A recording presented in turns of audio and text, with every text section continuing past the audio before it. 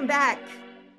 I'm excited to talk to our next guest, and I know you'll be excited to hear all about oh, time travel, science fiction, historical fiction, a little romance. Who doesn't want all those things in our lives? Well, Melissa Kaplan is going to bring it to us not only from the perspective of her heroine, but from her perspective of history. Incredibly, Melissa actually is an advocate for food security and hunger policy in Washington, D.C., an unlikely author of a novel about time travel. However, she's also a history buff and especially the World War II era and so it seems like a really good fit that that's where her book takes place. So, Melissa Kaplan, welcome. And I'm excited to share the story of how you got to the world who would change history, the girl who would change history. Great title. And, you know, I'm a big fan, even sometimes if you sell a journal with a great title on the cover and let people write their own book, I think that's great. And that's what made me want to know more. So, welcome to Good Day. Thank you so much, Lauren. It's great to be here. I'm really happy to share this with our viewers and our community. So tell us a little bit about you. Your background is so interesting. Oh, thank you. Yeah, as you said, I live in Washington, D.C., and I've worked in advocacy um, for my entire career, working on a range of different issues. And right now, as you said, I'm working on food security and agricultural policy and trying to ensure that Congress and the government have good policies in that area. So that's my day job, but I am also an author. And yes, The Girl Who Tried to Change History is my first novel. So very excited to be here and talk about it today. So tell us what why a novel? Mean, somebody with your background, you could have written, you know, a, a a nonfiction piece about history and and the whole era, but tell us why a novel. Yeah, I've always wanted to be a writer. I mean, really going back to my childhood, it's always been a dream of mine. I've always wanted to write a book. And I sort of, you know, had a few stops and starts where I tried out different ideas. They didn't quite take. But my dream was really always to write a World War II historical fiction novel. I've always been very fascinated by that era. I've read a ton of World War II historical fiction myself. And I wanted to create something that would be sort of new and different and have a little something new to contribute to the genre. And that was sort of where I got stuck for a while because I felt that there have been so many great World War II historical fiction novels, but I also felt like the ground has been really well covered because there's so many of them. It's such a popular time period for people to set stories in. And I wanted to write a book that would be a little bit different. Like I was kind of looking for, excuse me, I was looking for my hook, so to speak, that would set my book apart. And one day I was actually sitting, believe it or not, in a cafe and I was just kind of letting my mind wander as I was reading my book and just thinking about, you know, life and stories. And it suddenly occurred to me, what if I was sitting here and all of a sudden a stranger came up to me and offered me the opportunity to go back in time and change the history that I'm reading about? What would I do? What would that story look like? And that idea really struck me, but I also kind of resisted it for a long time because I felt very strongly, you know, I'm a historical fiction writer. I'm not an author of time travel novels. I'm not a science fiction writer. This isn't really my thing. I don't know if this is something that I can pull off or if it's something that I even want to get into. So I kind of shelved the idea for several years but it just wouldn't kind of leave me. It kept coming back to me when I kept, you know, coming to the page and trying to write. I kept thinking, well, what about that story idea? What if I wrote a story about a young woman who's given the chance to go back to the World War II era and change some of that history? So finally, I said, I'm just going to sit down, I'm going to show up at the page, see what happens, and just kind of see where the story takes me. So that's what I did. And I wrote for a year and a half. And at the end of that time, I had a novel. Wow. And how did you know you had a novel? Like how how did you tell us about your process just to make it happen after all those doubts and all those voices in your head. Yeah, I mean, I had always sort of experimented with writing different types of novels and stories. And it was just a case of finding a story where I really felt like, okay, I can follow this to the end. And some of it was a case of I wrote, I sort of saw where the story wanted to take me and I followed it. But I did have a general idea that I wanted to explore themes of what it means to go back in time, what it means to try to change the future, and is that a good idea? And what are the unintended consequences, which shows up a lot in the story that I wrote. And so, yeah, once I had that idea, I just kind of took it and ran with it. But yeah, I had a, in terms of my practice, I literally would just sit down once or twice a week, you know, in the middle of my schedule, all the other things I was doing, and I would just write and just take time. You know, I had an outline, I had a general plan of what I wanted to have the story be about. but I also let myself be led in directions, just sort of as I was inspired in the process of writing. So, so that's how it came together. About, tell us a little bit about the story, and then I want to ask you about time travel. Sure. so the story is about a young woman named Vivian Riley who is a doctoral student in 2009, specializing in World War II history. She's writing her dissertation, she's stressed out, she's exhausted. And then one day, a man shows up and offers her the opportunity to join a top secret government program that is using the newly discovered tool of time travel to send people, you know, ordinary people, back in time to the World War II era to try to change that history and change it for the better, obviously. And Vivian accepts because she's somebody who's very passionate very mm-hmm. much wants to make a difference and change the world and has all that sort of youthful idealism.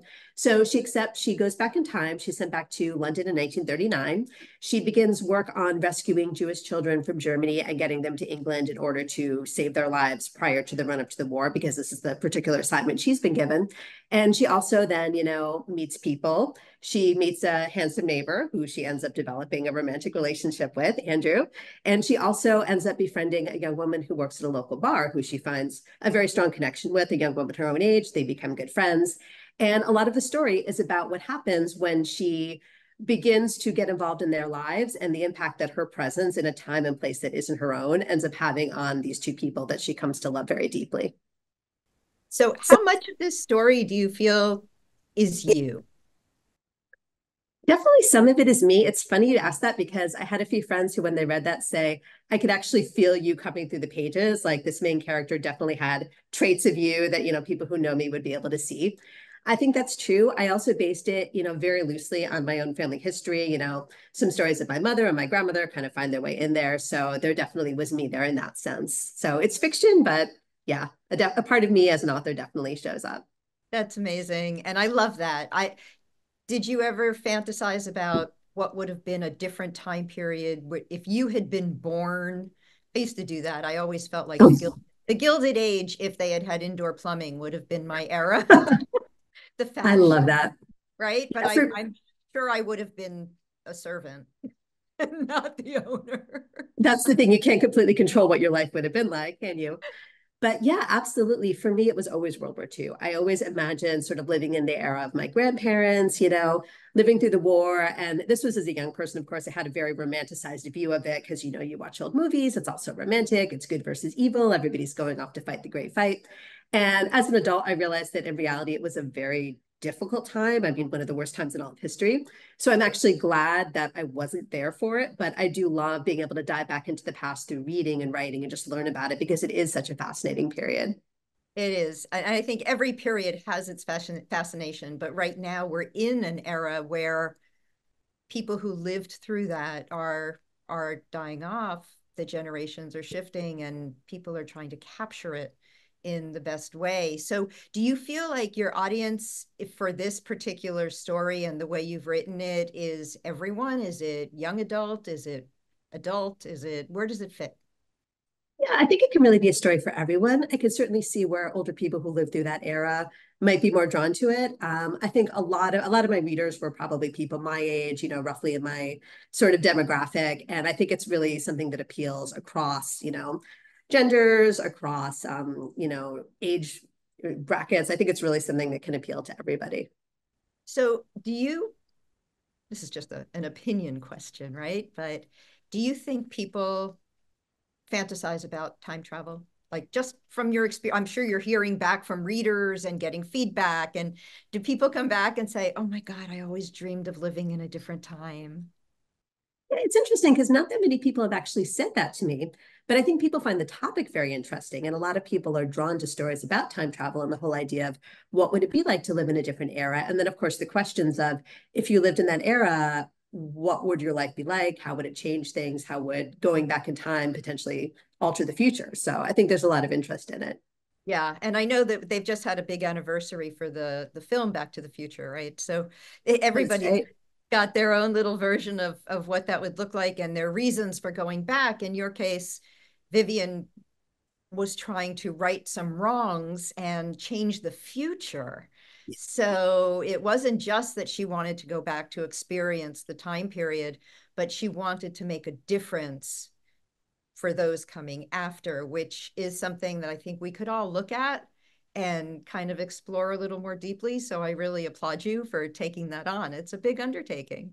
Thank you. It was definitely a very interesting topic to delve into because there's so many answers. I feel like a lot of us, if given the opportunity to go back in time, would take it either for our own curiosity or because we want to help and make a difference, like Vivian.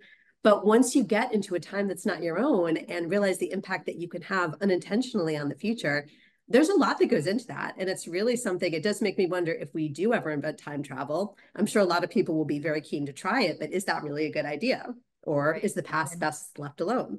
Exactly. Pick your period. Don't go, don't go back and screw it up too much. So, so Melissa, how can people find the book and how can people find out more about you? Yeah, so the book is available on Amazon.com. It's also available on BarnesandNoble.com and Bookshop. Um, I believe you can also order it through the Bold Story Press website. That's my publisher. I have my own website. It's called melissakaplanbooks.com. So you can go there. I don't sell the book directly through my website, but you can learn more about it. There's an excerpt there. You can sort of learn like where to find it. So excellent. And so since it's called Melissa Kaplan Books plural.com, I'm assuming you've got another project coming up. I do, yes. I'm in the process right now. Uh, my second novel is going through the editing process. So hopefully that will be published in spring of 2025. Super. And we'll look forward to having you back for that. Can you tease us a little bit on it? Like, what's the story a little bit about? Yes, I can definitely tell you a little bit about it. Um, it is a story of a real life, very famous couple and how their story would have been different if one event in their lives had happened differently. So it's sort of an alternative path, an alternative future for them, and just kind of exploring the way that one change in their story would have changed everything for them. Well, it sounds wonderful. And thank you for sharing that because now we'll all just keep an eye out for it and we'll bring you back to talk about your new book when Fantastic. the time comes. Thank you so much for joining us. Thank and you, Lauren. Forward to seeing you again. Thanks so much. And we'll be right back.